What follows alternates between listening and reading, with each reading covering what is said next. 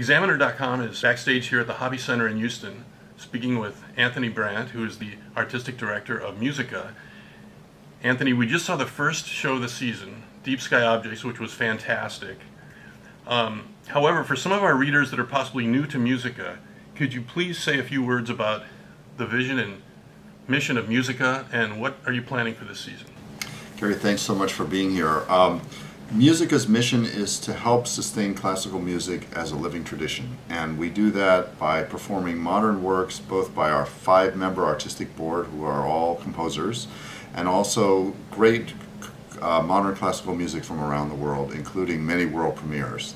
And I think one of the things that distinguishes Musiqa is we're a place where modern arts meet we always have another contemporary art form on our concerts. So tonight was Vintage Musiqa. We had a poetry reading by uh, author Sarah Manguso, a world premiere ballet choreographed by Tina Bohnstedt of the Houston Ballet, and of course uh, Deep Sky Objects, the piece we commissioned by Sebastian Currier with an original libretto by Sarah Manguso.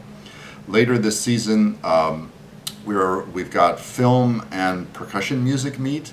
So we have some wonderful percussion works, um, including a piece celebrating John Cage's 100th birthday, and then films which use the body and scenery for percussive effects. So again, meeting up uh, the arts uh, together.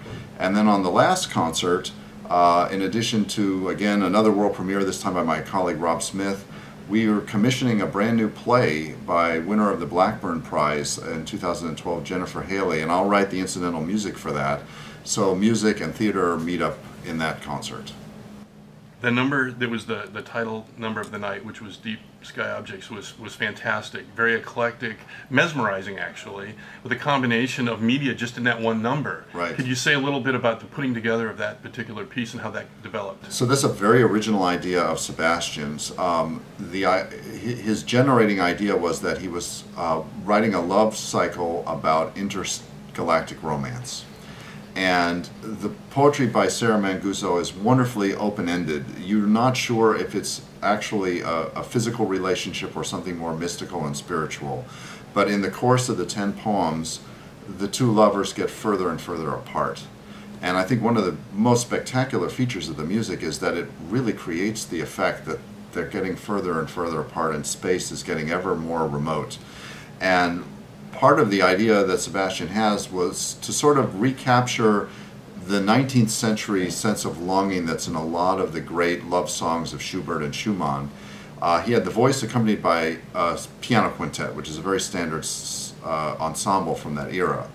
But then also to place us in the future where intergalactic romance might be possible, he created in the electronic studio um, space age sounds and he drew, I think, on some samples from NASA of pulsars and satellites beeping, and then created this tapestry of uh, electronic sounds that meshes together with the musicians.